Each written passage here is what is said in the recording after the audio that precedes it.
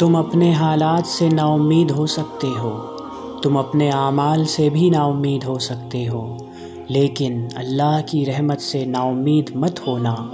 वो तुम्हें थाम भी लेगा और संभाल भी लेगा।